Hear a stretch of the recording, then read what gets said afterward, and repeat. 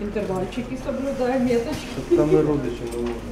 По запасах банку крові в Дніпрі помітно вдарила перша хвиля коронавірусу. Тоді, каже керівниця закладу, вони втратили половину донорів. Люди просто не могли дістатися станції переливання крові, бо не ходив транспорт.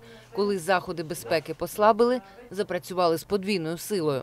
Ми стали заготовляти кров не тільки в стаціонарних умовах, а й стали виїжджати на виїзди у міста і райони області.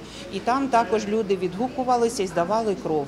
Не менше ніж від 50 чоловік на один виїзд. Тому е, на сьогоднішній день ми такого е, спаду донорства не відчуваємо. Але коли будуть введені більш жорсткі е, такі заходи протиепідемічні, то завжди вони впливають на кількість донорів, які приходять до нас здавати кров.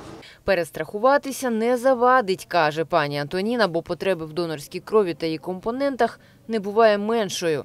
Постійні донори є, але покладатися тільки на них ризиковано. Тому застосовують акції. На привабливі заголовки активно реагують люди, які здають кров нерегулярно, а час від часу. Роману 21, він тут у четверте, але відгукнувся, каже, саме тому, що побачив інформацію про донорську акцію. Решил прийти, поэтому вот. Первый раз. сегодня четвертый. Планирую в дальнейшем, да, приходить. К сожалению, времени не всегда хватает, но сегодня думаю завести карточку и уже сделать это на постоянной основе.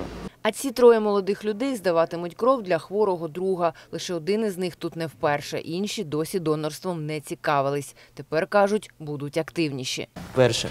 Я теж. Перше. Ну, два раза уже был, это третий. Каждому мужчине нужно сдавать кровь четыре раза в год. У минулому році прийняли стратегію національної системи крові. Донорство треба популяризувати вже серед дітей, бо здавати кров можна з 18 років. Але донорами сьогодні переважно є люди 40+. І то найчастіше приходять на станцію через потреби близьких людей. Зараз у нас 80% це родичі, тобто трапилась біда, виручай, спасай, допомагай.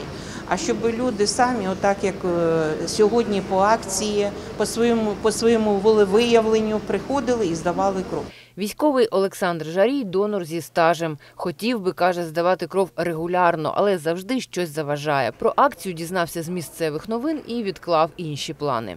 Ну це є однозначно добре. Всі люди, які не мають медичних протипоказань здавати кров, це навіть корисно. Кров оновлюється. Це є з медичних показань, наскільки я знаю, це корисно.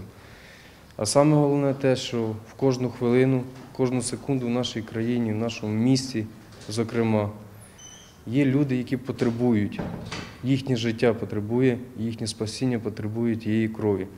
У реєстратурі запропонували кілька адресатів для допомоги. Олександр вибрав дітей. Сьогодні для третьої лікарні виключно для недоношених дітей. Оля Владімірова, Ілля Ломовський. Новини 9 каналу.